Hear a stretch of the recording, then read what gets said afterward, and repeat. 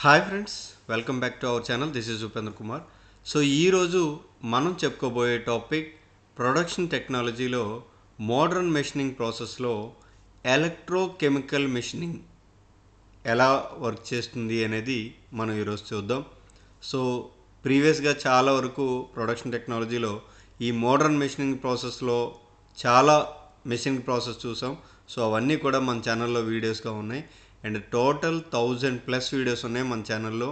అవన్నీ కూడా technical videos as well as safety videos.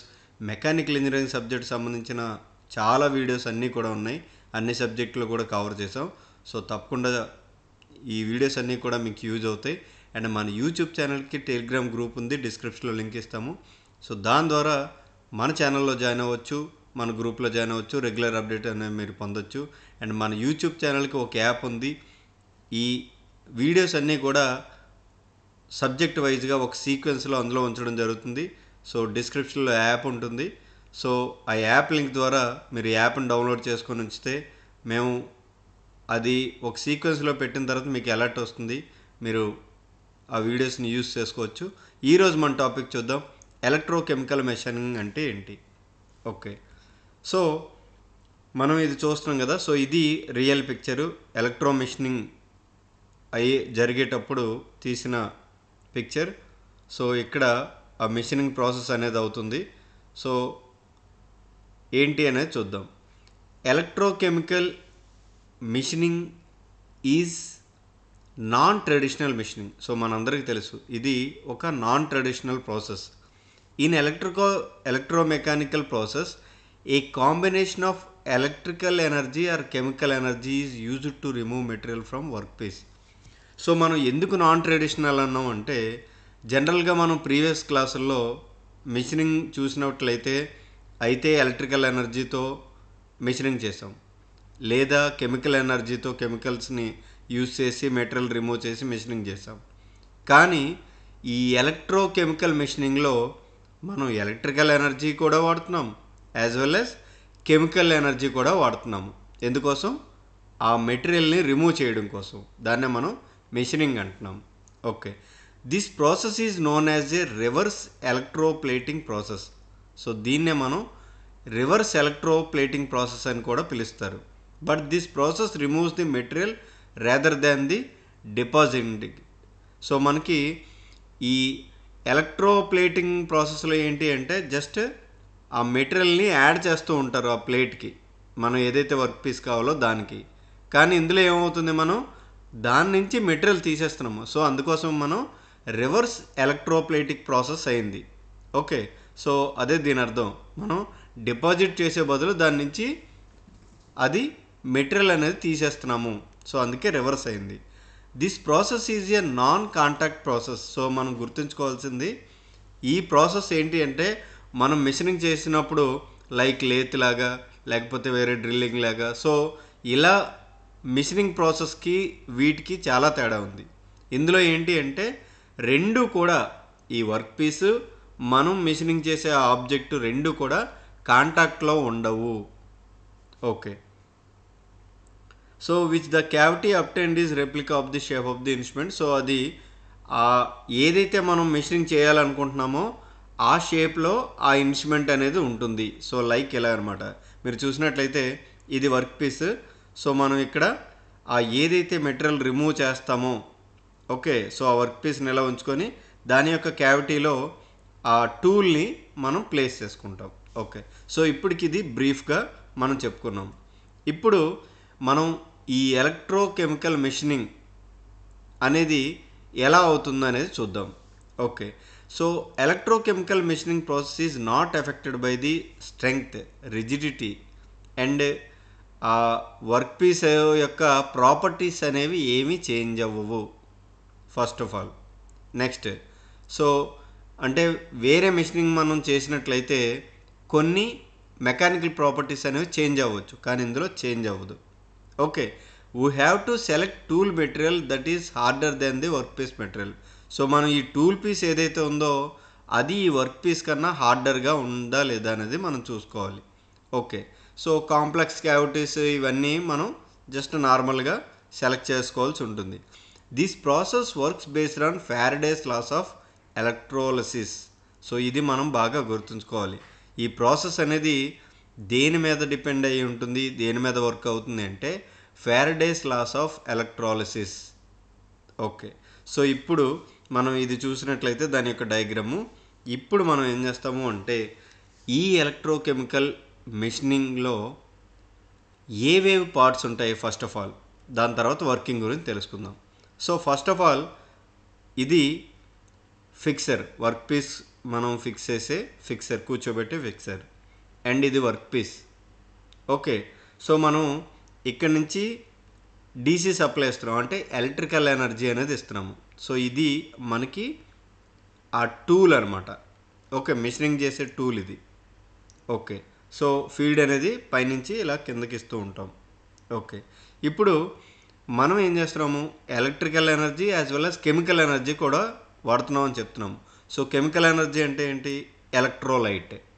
So ఈ ఎలక్ట్రోలైట్ని మనం ఏం చేస్తాము అంటే జస్ట్ ఇలా పంపించి ఈ వర్క్ పీస్కి టూల్కి మధ్యలో మనం వెళ్ళేలా చేస్తాం. అది ఎందుకు అనేది నేను చెప్తాను.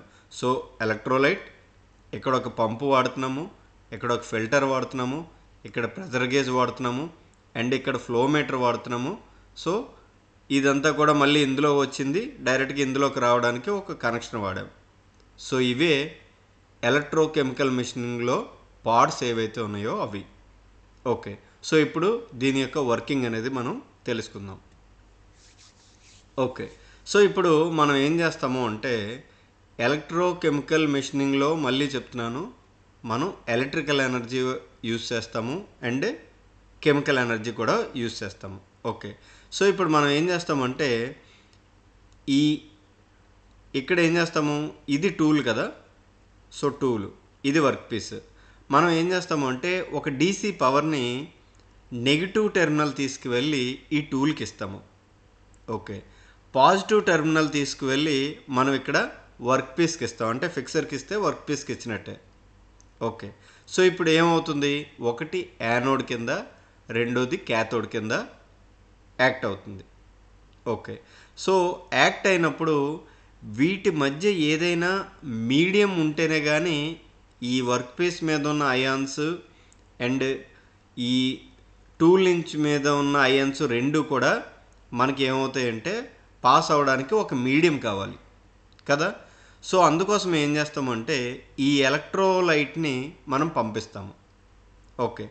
సో ఇక్కడ ఏమవుతుంది అంటే ఫస్ట్ ఆఫ్ ఆల్ మనం ఎలక్ట్రోలైట్ పంపించినప్పుడు ఈ పంప్ ద్వారా మరి కావాలి కదా ఏదో మీడియం పంపింగ్ చేస్తాము. పంపింగ్ చేసిన తర్వాత ఫిల్టర్లో ఫిల్టర్ చేస్తాం ఎందుకంటే మనం మిషనింగ్ చేసిన తర్వాత ఏమైనా పార్టికల్స్ ఉంటే అవి ఈ ఫిల్టర్లో ఫిల్టర్ అయిపోవాలి. తర్వాత ఎంత ప్రెజర్ మనం పంపింగ్ చేస్తున్నాం అనేది ప్రెజర్ గేస్ మనకు తెలియజేస్తుంది. సో ఎంత ఫ్లోతో మనం ఎలక్ట్రోలైట్ పంపిస్తున్నాము అనేది ఈ ఫ్లో మీటర్ చూపిస్తుంది. ఓకే. సో ఇక్కడ వరకు మనకి క్లారిటీగా ఉంది. ఇప్పుడు ఎలక్ట్రోలైట్ని మనం ఏం చేస్తున్నాము?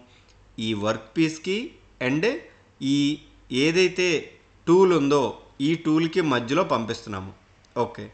సో ఇప్పుడు ఏమవుతుంది అంటే ఎప్పుడైతే మీడియం ఆ రెండిటికి మధ్యలోకి వెళ్ళిందో అప్పుడు ఏమవుతుందంటే వర్క్ పీస్ మీద ఉన్న ఆ అయాన్స్ ఏమవుతాయి అంటే సో మీరు ఇక్కడ పక్కన చూడొచ్చు.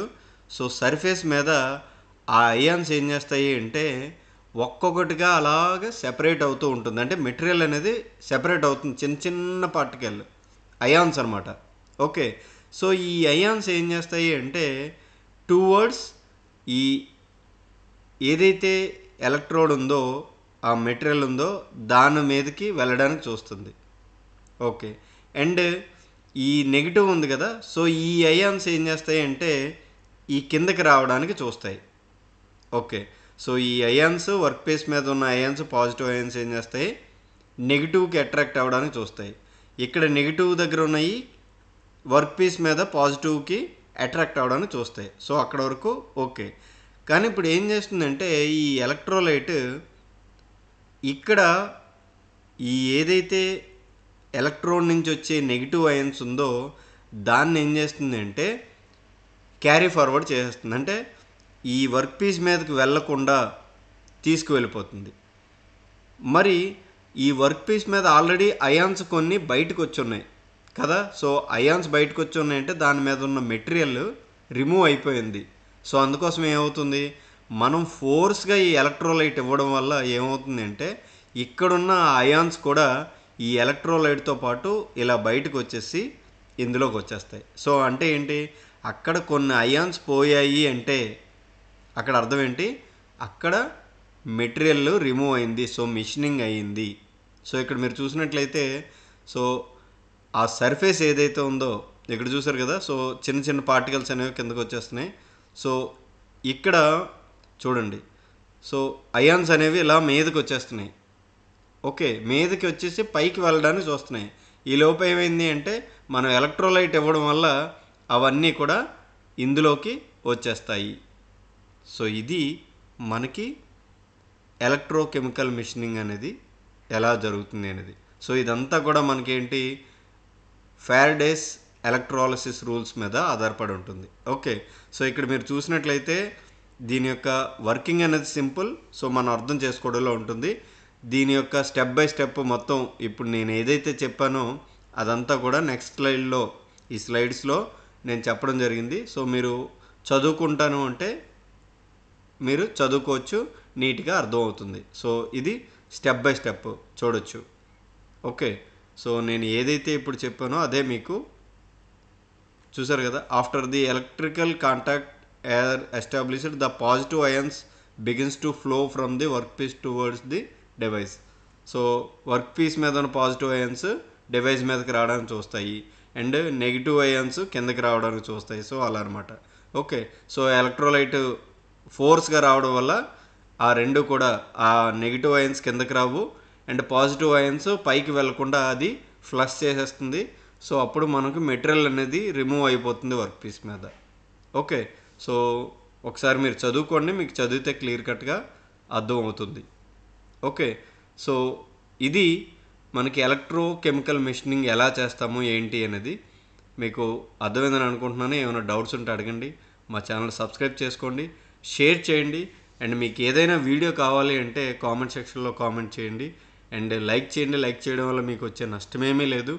మాకు ఒక బూస్టప్గా ఉంటుంది. సో మా ఛానల్ని ఎంతమందికి వీలైతే అంతమందికి షేర్ చేయండి. ఎందుకంటే ఈ వీడియోస్ చాలామందికి యూజ్ అవుతాయి.